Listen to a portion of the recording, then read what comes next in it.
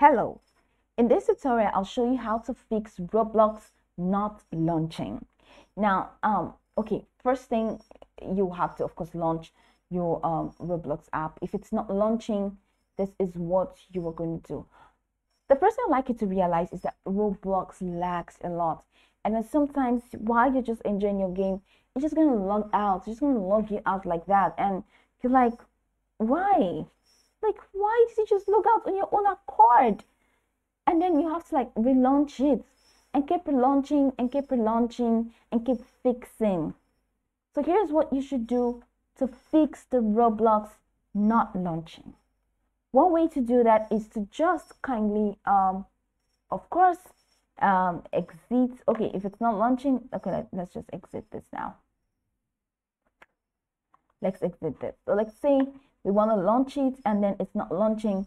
There's one thing you should do. First of all start to restart start to launch and um, try to launch which is like the first thing you should do. Try to launch it.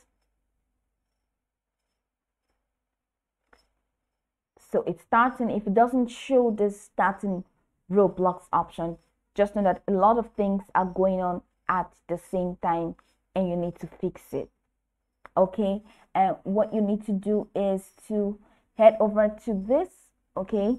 Head over to so this has launched okay? So if it's not working head over to this um, bottom right corner of your screen and then select the show hidden icons.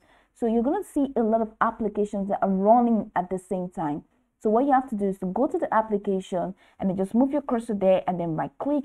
And once you right click just click on exit so once you exit, that will be it. You'll be able to remove all the applications that are running alongside Roblox.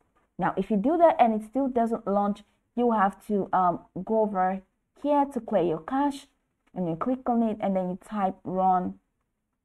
So once you type run, um, it's going to take you to run app. So select this.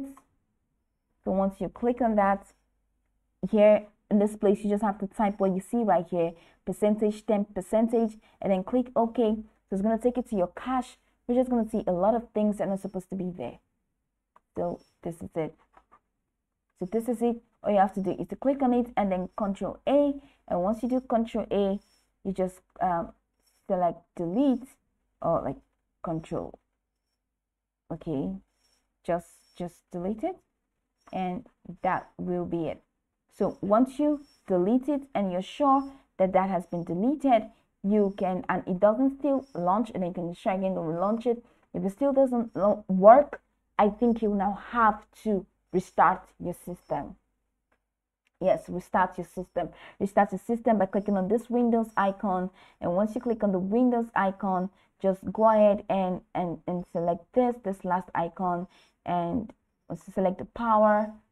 You're going to see the option to restart your system.